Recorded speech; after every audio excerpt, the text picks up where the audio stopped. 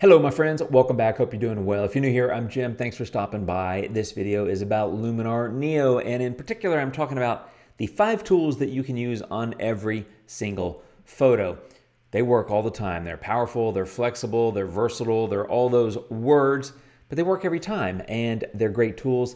And if you learn these five tools, your images will get better because they give you a lot of power and control over your photo. Let's just cut to the chase, my friends, get into it. I have a photo here and I'm gonna walk through these five tools. Now, none of these will be a deep dive on these tools because that would make the video fairly long, but I've got multiple videos in this playlist about Luminar Neo that you can check out. The first tool, if you hadn't guessed already, is Develop Raw. Amazing power and control I talked about in that video, but for an image like this, I would probably come in and increase contrast, drop the highlights, maybe bump the shadows a little bit, just kind of playing with the tones, right? So I went from that to that, simple, straightforward kind of stuff. There's a ton of power in curves. I'm not gonna use it here. Again, not a deep dive on this tool, but this is the tool. Uh, if you're gonna pick one tool, it is uh, Develop Raw, as I've talked about in previous videos. Uh, I would go into color here and pull down the temperature. I just like blue a little bit better. Gray skies I love, but I tend to make them a little bit blue season to taste. You certainly don't have to do what I do. But you got great color control here with saturation and vibrance and temperature and tint. But you know, already I feel like I've got an improved image. It went from that to that, and I'm kind of just getting started. Now you can heighten or, or decrease if you wanted to, but in this case I might want to heighten contrast. You know, a little bit more smart contrast, a little bit um, less highlights, maybe pull back shadows a little bit. You could also go into blacks and whites, pull down the black point a little bit get a little bit more contrast. I think that looks nice. But this is tool number one, Develop Raw. It gives you lots of power and control to take an image from that to that in a matter of seconds, right? So that's tool number one.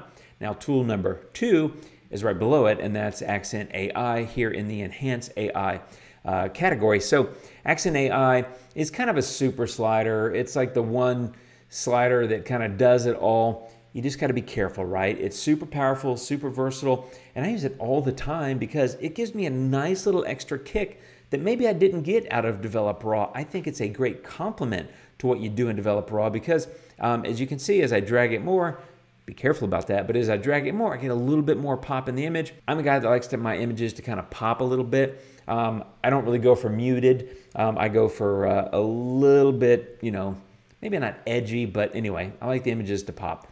I can't think of a better word than pop. You know what I'm talking about. But Accent AI, super powerful, super versatile, works on every single photo because it does contrast, it pops colors because it pops contrast, it, it obviously impacts light because it pops contrast. So quickly and easily took the photo that I'd already used Develop Raw on and used Accent AI like that to get it to there. So that's tool number two. Now number three is right below that, Structure AI powerful, versatile. Love this tool. It's absolutely fantastic. And I use it all the time on images. And I use it in two different ways. I use it both positively and negatively to add crunch to some areas and remove it from others. So in this case, I'm gonna go ahead and add some crunch. I'm gonna paint it in and, and I'm gonna do this really quick and sloppy because this is not a masking video, uh, nor is this a, uh, a demonstration of how sloppy I can, well, actually it is a demonstration of how sloppy I can be. It's not a demonstration of you know, how to be more accurate um, with masking.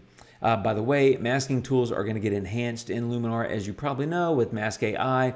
And I know they're going to be bringing back radial and graduated filters, things like that. Uh, those masks are gradient uh, masks. So things like that are coming. But this was allowing me to quickly add a little bit of crunch there, and then you can just commit it. The beautiful thing about Neo, of course, is you can go use that tool a second time. And in this case, I'd go negative and I would go negative across the sky and water, which means once again, I'm gonna go into masking.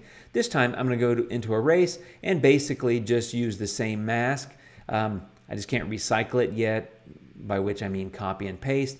That'll be coming as well in the future. So I'll just go recreate a similar mask by just erasing it from the areas where I don't want this negative structure to apply, which is the same stuff I just applied positive structure to.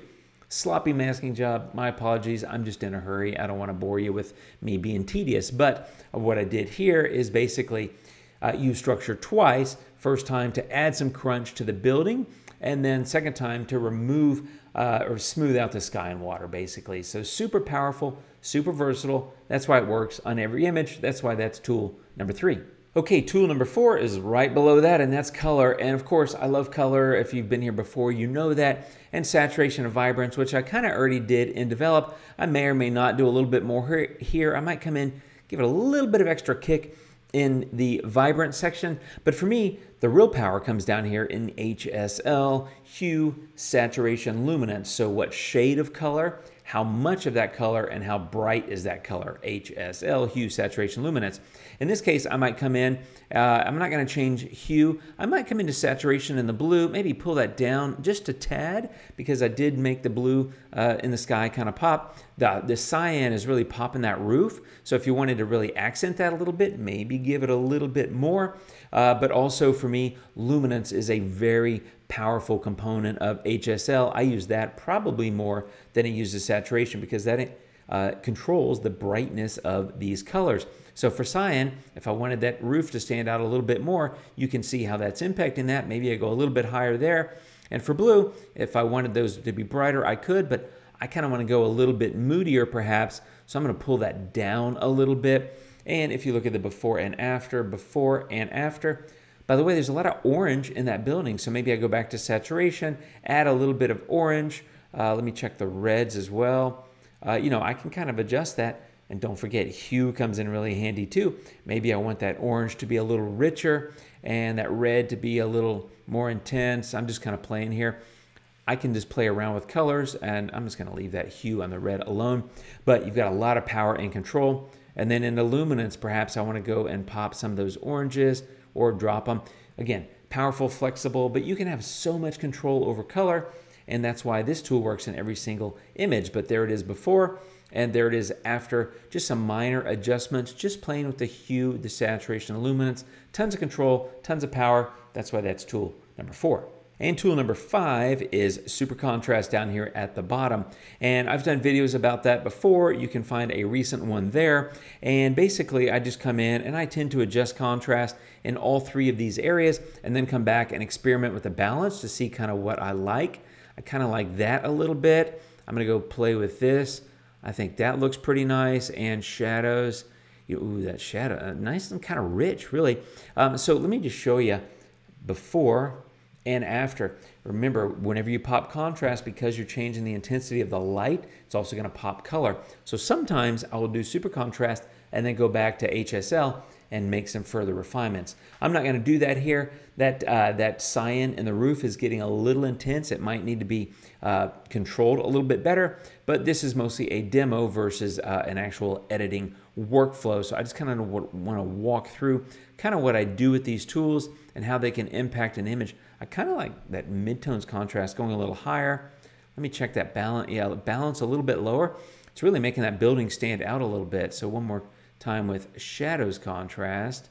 Let me adjust the balance. That's where you see the big impact. I think something about that, kind of like down the middle here. Let me get over here. Yeah, um, I'm thinking about like that. Let me show you the before and after, super contrast. There it is, and that's with all those other adjustments still a little bit flatter. And then you come in with super contrast at the end, and that really pops that overall. So that's why that's tool number five. And altogether, you can have a huge honestly massive impact on your photo by using these five tools because these are five tools that work in every single image. Let me show you the before and after. There it is before, kind of flat to be honest. I mean, that's a raw file, unedited, just kind of blah overall. And now, I mean, that's that's a color fest might need to go in and, and, drop a little bit of saturation or vibrance. The point is you can see the massive difference that I made by using these five tools. That's why I consider them five tools that work on every single image because they give you tons of control over light, contrast, color, and a little bit of detail as well with that structure slider. So that's it for this one, my friends. Five tools. You learn these five tools. Honestly, you could edit just about every image just using these five tools. They give you that much power and control. Thanks for watching. Hope it helps. Hope it gives you some ideas for your own editing. Drop me a comment down below. If you like this kind of stuff, give me a thumbs up. That tells YouTube that I'm doing okay over here. And I hope that I am doing okay. So let me know. Thanks for watching, my friends. You guys take care of yourselves.